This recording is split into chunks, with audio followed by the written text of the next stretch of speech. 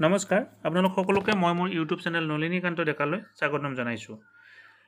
প্ৰাথমিক বিদ্যালয় অৰ্থাৎ প্ৰথম শ্ৰেণীৰ পৰা অষ্টম শ্ৰেণীলৈকে পঢ়ি থকা ছাত্ৰ ছাত্ৰীসকলৰ বাবে কেন্দ্ৰীয় শিক্ষামন্ত্ৰীয়ে এটি অতি গুৰুত্বপূৰ্ণ ঘোষণা কৰিছে আৰু এই ঘোষণাটো হৈছে সমগ্ৰ ভাৰতবৰ্ষত এঘাৰ দশমিক আঠ কোটি ছাত্ৰ ছাত্ৰী আছে আৰু এই এঘাৰ কোটি আঠ এঘাৰ দশমিক আঠ কোটি ছাত্ৰ ছাত্ৰী কি কৰে?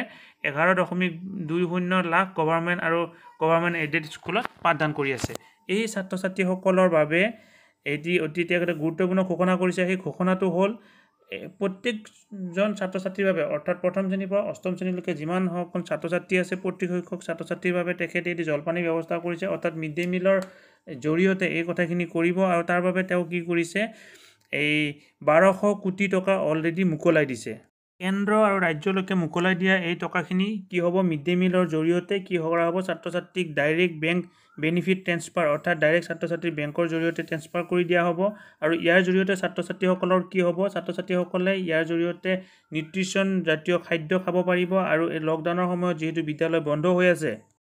কেন্দ্ৰীয় চৰকাৰে মোকলাই দিয়া বাৰশ কোটি টকাৰ জৰিয়তে প্ৰত্যেকখন ৰাজ্য আৰু কেন্দ্ৰীয় কেন্দ্ৰীয় শাসিত অঞ্চললৈকে যিহেতু দিয়া হ'ব এই টকাবিলাক যেতিয়া ছাত্ৰ ছাত্ৰীৰ ওচৰলৈকে যাব ছাত্ৰ ছাত্ৰীয়ে কি কৰিব পাৰিব?